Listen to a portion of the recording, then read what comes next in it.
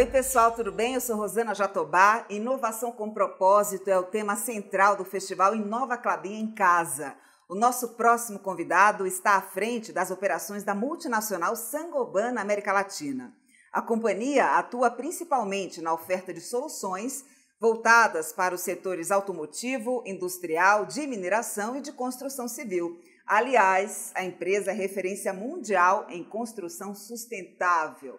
Vou dar as boas-vindas ao Thierry Fournier. Thierry, que prazer recebê-lo aqui no nosso festival. Tudo bem com você? Tudo bem, muito obrigado. Um grande prazer para mim participar desse evento. Thierry, a gente sabe que a Sangoban está entre as 100 empresas mais inovadoras do mundo, e isso por vários anos consecutivos, exatamente porque vem buscando incansavelmente melhorar a produtividade e o desempenho. Mas a gente sabe também que empresas de grande porte têm muita dificuldade em inserir uma cultura de inovação. Né? A cultura corporativa está tão arraigada que eles não conseguem avançar em novos processos, novos serviços, não têm coragem de ousar. O que, você diria para essas empresas? Ah, eu diria que tem três pré-requisitos né, para chegar a esse nível de inovação contínua e de, de, alto nível. A primeira coisa é que a inovação é uma tarefa compartilhada, não é o papel das equipes de PD ou das equipes de marketing. Todo mundo pode contribuir e deve contribuir a inovação da empresa. Segunda coisa, é, extremamente importante liberar a criatividade, ou seja, dar a possibilidade às pessoas exprimir as suas ideias, colocar as ideias na mesa para discutir e avaliar o potencial de, de, de, cada ideia. Então, liberar a criatividade é o, é o segundo pré-requisito. E o terceiro pré-requisito é de escutar o mercado. Uh, a empresa como a Saint-Gobain foi historicamente uma empresa de engenheiros e inovamos nas fábricas e passávamos os, os produtos para as equipes comerciais para vender, dizendo para elas, é, vai vender, vai no mercado, o produto tá bom. O, o, mercado não funciona mais assim, então você tem que escutar o cliente, ficar perto dele, ouvir, entender e depois voltar para casa e desenvolver uma solução que responde à necessidade. Então, eu diria, tarefa compartilhada, todo mundo tem que inovar. Segunda coisa, liberar a criatividade de todo mundo. E terceira coisa, escutar, ouvir o mercado e o mercado que, que, que manda. E o papel do líder? Porque a gente sabe também que um outro obstáculo para a inovação é a liderança inadequada, aquela liderança imprópria, que ainda está muito presa à questão da hierarquia, que não consegue é, dar autonomia aos colaboradores. Como é que faz para capacitar os líderes numa grande empresa? é, já o tom tem que, que, que vir do, de, de, acima, eu diria. Uhum. Então, eu, exatamente o que nós fizemos junto com a Adriana, a minha diretora de RH para a América Latina, faz seis anos que é, começamos essa jornada de transformação dentro da empresa e deu certo porque nós dois é, demos o tom hein, e nós é, embarcamos junto conosco todos os DGs, os, os top executivos da empresa, forçando amigavelmente, vamos dizer, eles para justamente é, fazer o papel deles, seja é, embarcar todo mundo, liberar a criatividade e escutar o mercado. E isto que nós fizemos foi realmente o nosso papel junto com a Adriana nos, no, nos primeiros anos dessa jornada. E, e agora não, não, tem mais necessidade de falar com ninguém sobre sobre isto, porque virou uma parte do nosso DNA como um grupo inteiro aqui na América Latina. Normalmente, as empresas que mais inovam são aquelas que já nasceram digitais. Não é o caso de vocês, que têm uma trajetória longa, é de 80 anos. Como é que foi para vocês fazer essa transformação?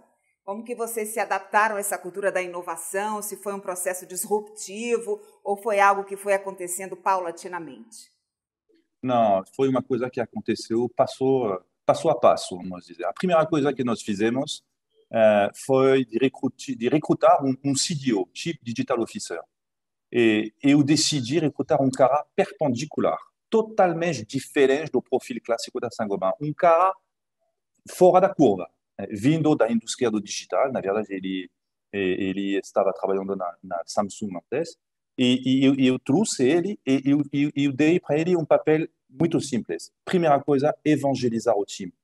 Falar do que, é o digital, como que isto uh, se faz, qual é o potencial do digital, mas evangelizar todo mundo, do operador da linha até o diretor-geral de um negócio. Ele fez isso nos primeiros 18 meses. Ele visitou todas as nossas fábricas, os seis turnos hein, eh, de, de, cada uma das nossas fábricas. Ele fez, ele fez tudo. Evangelização do time. Segunda coisa, avaliar como que a gente usa as ferramentas digitais atuais. Gastamos dezenas de milhões de dólares em ERP, em, CRM e outras coisas assim, e usávamos 30% das funcionalidades das, das ferramentas digitais que a gente tinha já. Então, antes de ir para a Lua, tem que andar corretamente na Terra, sabe? Então, foi o segundo papel dele. Hein? Aprender as pessoas a usar bem o que a gente já eh, tinha na, nas mãos. Terceira coisa, aprender ao nosso time a, a, a, trabalhar com as redes sociais. Não tem jeito, é uma expertise. Você tem que aprender como se posicionar na, Google, no Instagram, o que fazer com o LinkedIn. São técnicas, tem que uhum. aprender, tem que fazer, tem que aproveitar de tudo isso e com o tempo você melhora. Então foi a terceira missão dele. E a quarta missão foi de ajudar os negócios a entender na jornada dos clientes onde interagir com o digital hein, e identificar os três, quatro, cinco quick wins, hein, projetos pilotos a lançar justamente para acompanhar essa jornada da melhor forma possível. Nós fizemos isso após três anos, não tivemos mais necessidade de ter uma estratégia digital. O digital fazia parte do nosso negócio. Uma empresa que te fala, eu preciso de uma estratégia digital, ela já está morta. O digital não é uma estratégia, é uma ferramenta que te acompanha, ponto. Tem que fazer parte do seu dia a dia. E o que aconteceu após três anos de trabalho. Nessa jornada de conscientização, que o Thierry está chamando de evangelização, né, Thierry? Que é uma forma de doutrinar os funcionários e colaboradores, eu imagino que você tenha colhido bons resultados, bons frutos. Tem algum processo, algum exemplo que você quer citar aqui para nós em função dessa mudança de cultura da empresa? Sim, duas. Uh, a nossa maneira de inovar era bem americana um projeto, um, um, processo tipo stage and gate. Você trabalha, passa uma, uma gate, ou seja, uma, uma porta de validação, você vai para a etapa seguinte, blá, blá, blá, blá, blá. Muito sequencial, muito lento, e quando a gente eh, conseguia entregar o produto, estava tarde demais para a comercialização. Então, não dava certo. Nós aprendemos a nosso time usar o design thinking, uma tecnologia, uma, ferramenta que existe nos Estados Unidos já faz 40 anos. Mas para nós foi uma inovação gigantesca tá? de aprender como inovar muito mais rápido, mais perto do mercado e mais cedo na curva de valor. Foi, foi a primeira coisa que a gente fez, na verdade. E segunda coisa, após de, de, de ter aprendido o nosso time usar o design thinking para inovar mais cedo, mais rápido, mais perto do mercado, nós aprendemos a eles a utilizar as técnicas de UX, User Experience, ou seja, como uhum. desenhar as coisas para que o produto, o sistema seja muito mais fácil de utilizar e, e, e, e dar um prazer melhor para o, o usuário, o instalador. Então, o design thinking junto com o UX revolucionaram a nossa maneira de, de inovar dentro da empresa.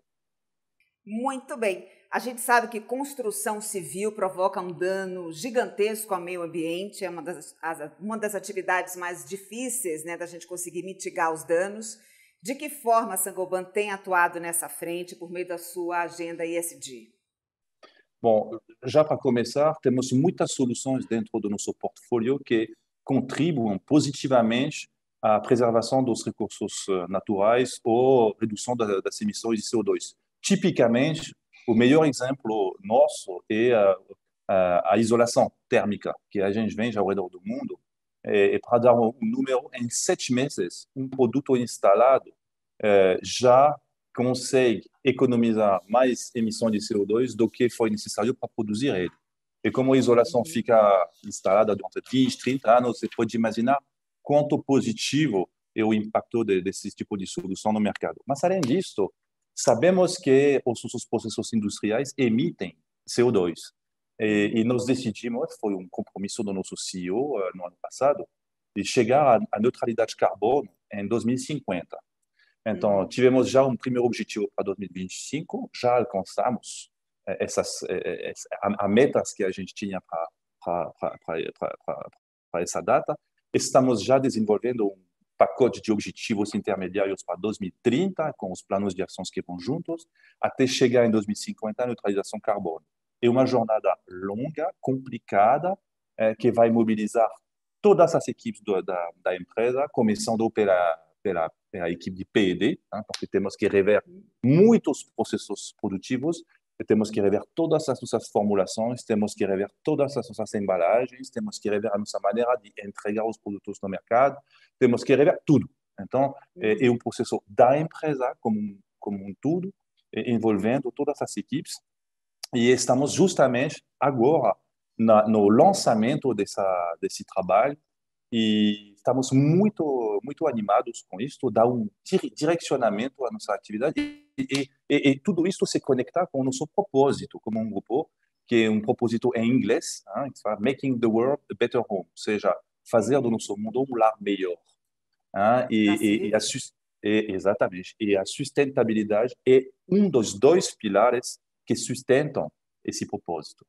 A gente está falando aqui de impactos ambientais, mas agora, com a pandemia do coronavírus, a gente viu que a questão social ganhou uma importância muito grande, sobretudo no Brasil, porque escancarou a questão da desigualdade social. Uma empresa como a Sangoban, desse porte né, gigantesco, de que maneira pode atuar ali para tentar minimizar essa questão, que é algo assim drástico aqui no nosso país? É, você está certa. Já faz quase 10 anos que a gente trabalha o tema da diversidade e a inclusão e, e focamos principalmente ao redor do mundo sobre eh, a, a diversidade de gênero. Foi, foi, o primeiro pilar que a gente atacou. E agora estamos atacando aqui no Brasil todos os outros pilares.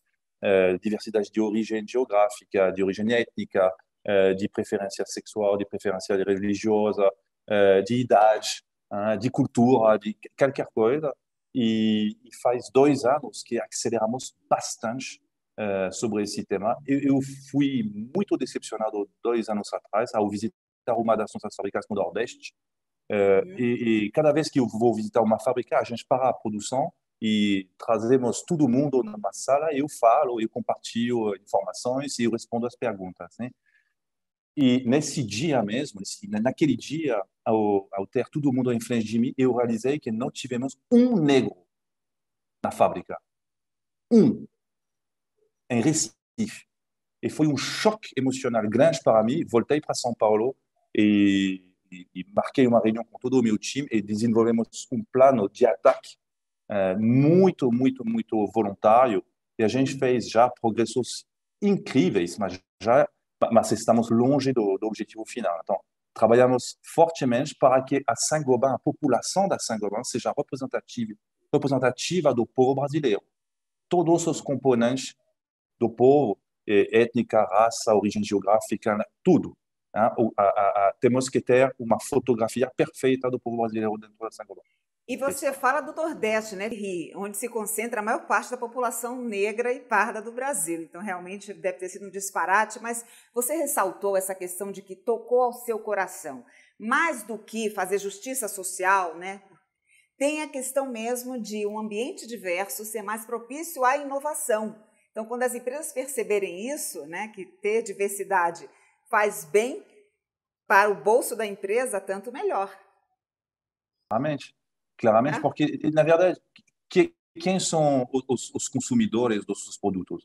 É o povo Sim. brasileiro. Então, se você tem só um, alguns grupos representativos da população brasileira, você perde uma grande parte do, do seu entendimento potencial do mercado. Claro, então, em termos de inovação, em termos de linguagem, em termos de cultura, em termos de, de, de comunicação, em termos de tudo. Não vale só para a inovação, vale para tudo.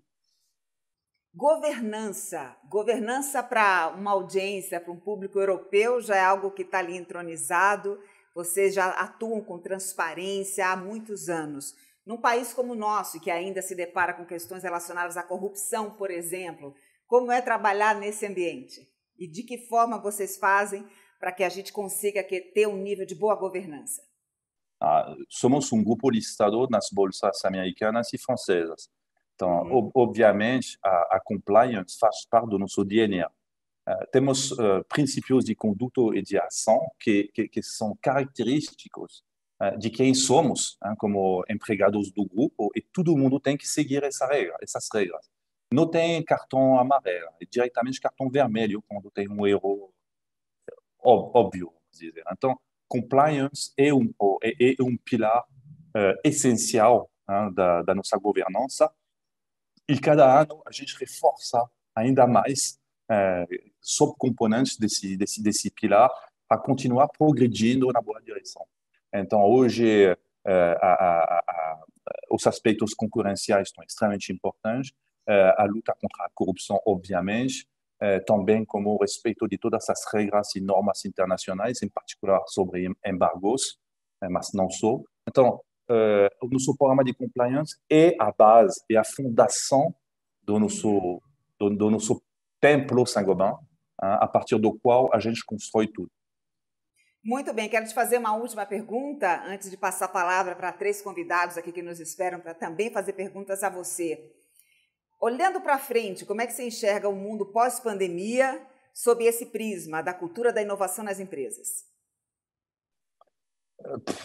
Não sei se a pandemia vai, vai mudar muito eh, essa questão da inovação, mas tem um fator que vai permanecer e, e, e a aceleração permanente do mercado. Infeliz, felizmente ou infelizmente, vamos ter que inovar ainda mais rapidamente, de uma maneira mais aberta, cooperando com, com ecossistemas de startups, ecossistemas uh, de universitários, co-desenvolvendo soluções junto com terceiros, com fornecedores, com clientes.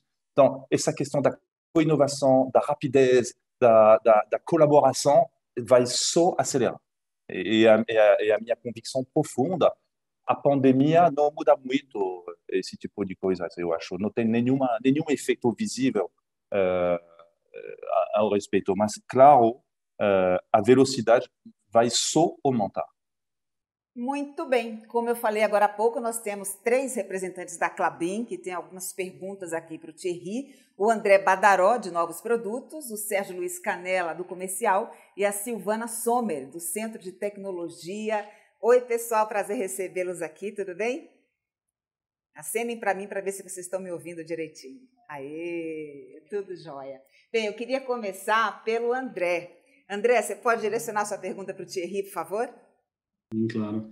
Thierry, é um prazer tê-lo aqui conosco é, no dia de hoje para a gente discutir um pouco sobre, sobre o contexto né, da Sangoban e Clabin. É, a, a minha pergunta é, pensando nas metas organizacionais da Sangoban, né, no médio e longo prazo, como que você enxerga o papel das embalagens nessa estratégia, né? É, seja no âmbito de sustentabilidade, mas também de inovação de mercado e trazendo, agregando valor para o consumidor final. Ah, é, já falei hein, da, nossa jornada uh, de sustentabilidade. Claro que a neutralização, a neutralização carbono é um tema, mas, mas temos muitos outros, inclusive em particular a, a, a reciclabilidade dos nossos produtos. E, e, temos um problema na quartzolite, é, que é justamente é, as embalagens, questão de papel, mas tem, que, tem, que tinham uma camada de plástico não reciclável lá por dentro, por, por, por, por razões óbvias. Né? Você tem cimento lá por dentro, se a umidade entrar, você perde o produto. E, bom, então, para conservar o produto corretamente, você tem que gerenciar essa, essa, essa estanqueidade da, da embalagem. Então, nós convidamos, nós, convidamos, nós falamos é, com a Clabin, acho que foi alguns meses atrás, nós sentamos juntos no espírito do, do co-desenvolvimento, como eu falei, Rosana, justamente, e nós colocamos esse problema na mesa é, para os, seu, os seus times, como que vocês podem nos ajudar a respeito. E nós trabalhamos juntos e desenvolvemos, muito, muito obrigado por isso, um produto genial, genial. Adoro esse produto que, que vocês fizeram, a gente ama essa embalagem da Clabin. Já falamos ao redor do, do grupo Saint-Gobain mundial ao respeito disso. Todo mundo quer saber, todo mundo quer comprar eh, essa embalagem. No Brasil, e não é a primeira vez, e virou uma tradição, desenvolvemos, junto com um parceiro de, de grande porte, uma solução que vai solucionar o nosso o problema mundial. Então, obrigado por tudo isto e temos um futuro belíssimo juntos ao respeito. E, e um ponto extremamente importante que eu quero colocar Nunca pedimos a exclusividade. Nunca. Por quê? Porque achamos que a sustentabilidade não é uma, uma questão comercial, é uma questão da humanidade. Então, se a Saint-Gobain contribuir junto com a Clabin, resolver o problema de embalagens para a indústria de argamassas, tudo bem. Nunca iríamos pedir exclusividade sobre um tema de sustentabilidade. Muito bem, a Silvana está com um sorrisão ali, ó, quando o André estava perguntando para o Thierry. Silvana, sua pergunta. Primeiro, o sorrisão é um agradecimento né, por essa parceria. A gente sabe de muita dedicação do time da Sangoban, do Centro de Tecnologia, da Clabin como um todo para desenvolver esse produto. Né? E escutar isso, que o Thierry ama essa solução, acho que enche a gente sim de orgulho e dá mais valor ainda ao que a gente faz aqui no dia a dia. Mas a gente tocou o viés da embalagem, mas eu queria também trazer um aspecto mais amplo, a questão dos materiais utilizados nos produtos da Sangoban, né? Onde que existe essa possibilidade também e, e, e qual é o direcionamento que a Sangoban está tendo, é, visto essa esse movimento da busca de produtos aí de fonte renovável. Então, assim, como ah, é. isso se insere hoje, né, dentro do portfólio da Sangoban? Estamos no Brasil o, o, o, país mais verde do mundo. Temos tudo aqui, todos os recursos naturais possíveis, em particular verdes. Então, é, essa, essa questão da, da embalagem reciclável é, não foi o primeiro projeto que a gente fez juntos. Você lembra, Silvana, trabalhamos junto com a nossa equipe de Norton, de abrasivos, para desenvolver uma, uma substituição à resina química que a gente usa para colar os grãos nos papéis, do, do, é, dos, dos papéis abrasivos e pensávamos naquela época a lignina. Né? E, e, não deu certo. Não deu certo, tudo bem. Acontece, faz parte. O PD não funciona 100% é, cada vez. Então, tentamos isso, não deu certo. Mas agora, com a experiência que é positiva que a gente tem com, com uh, as embalagens recicláveis, eu pedi para o meu time montar um projeto transversal completo sobre a green chemistry aqui no Brasil. Ou seja, fazer um inventário total do que a gente poderia aproveitar melhor para, todas, para todos os tipos de formulação. Materiais de construção, vidro, embalagens, qualquer coisa. E quem é o chefe desse projeto é o Gabriel Gorescu, o chefe do meu centro de PD lá em Capivari, que você conhece. Ele, ele acabou de começar e eu tenho certeza que nós vamos descobrir muitas coisas boas é, e, e, e, vai, vai nos abrir muitos caminhos de desenvolvimento e de inovação positivo para o Brasil e para, espero, a Saint-Gobain e os seus consumidores. O Sérgio também tem uma pergunta para o Thierry, né, Sérgio? Tenho sim. Boa tarde, Thierry. Prazer estar aqui com você e com os colegas da Clabin. Obrigado pela, pelo tempo que você está concedendo aí para a gente. É, como eu sou integrante da equipe de negócios da Clabin e a nossa pergunta está associada a perspectivas de mercado. Nós falamos sobre inovação, sustentabilidade, que sem dúvida algumas são pilares é, que nos projetam para um, um, caminho é, irreversível do ponto de vista de consumo. É, mas qual, qual a perspectiva que a Sangloban tem em relação ao mercado da construção civil para o Brasil nos próximos, neste ano e o próximo, se você tiver um horizonte que puder compartilhar com a gente, seria bacana ouvir de você. Hum. É, boa pergunta. Uh, já em termos quantitativo, o mercado brasileiro vai crescer. Temos um déficit habitacional no Brasil que ultrapassou 7 milhões de unidades. Ou seja, o povo brasileiro precisa de casas, já, para começar. É, é óbvio. Uh, e, e, faz tempo que a situação não melhora muito. Uh, 15 anos atrás tivemos o lançamento da, do programa Minha Casa Minha Vida, que, que deu parcialmente certo. Temos que continuar nessa direção. Então, tenho certeza que quantitativamente o mercado brasileiro só vai crescer. Ao mínimo, duas vezes mais do que o PIB. Já, para começar. Agora, em termos qualitativo, uh, o, a construção civil brasileira vai para a construção a seco. Muito mais muito muito muito muito mais sistemas uh, muito mais uh, uh, placa de gesso placa de cimento muito mais uso de madeira muito mais de, de construção sustentável de certificação de labelização das casas ou dos escritórios. Isto é irreversível. Vamos vamos para lá e nunca vamos parar. E, e voltando a essa, essa questão da construção a seco eu acho que a madeira vai penetrar progressivamente o setor da construção para chegar a um equilíbrio melhor do que ele é hoje. É, vai demorar, vai demorar porque a gente precisa de uma maturidade maior do setor da construção para que as soluções base madeira é, sejam um pouco mais utilizadas ao redor do país. Mas vai acontecer, né? também é irreversível.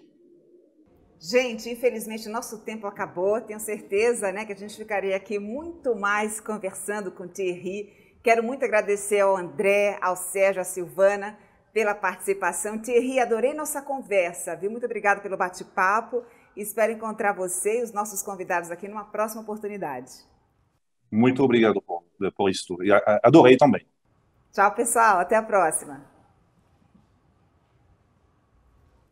E é isso aí, gente. As conversas aqui no Festival Inova Clabin inspiram e transformam. Vamos agora para a próxima? Eu vou te esperar, hein?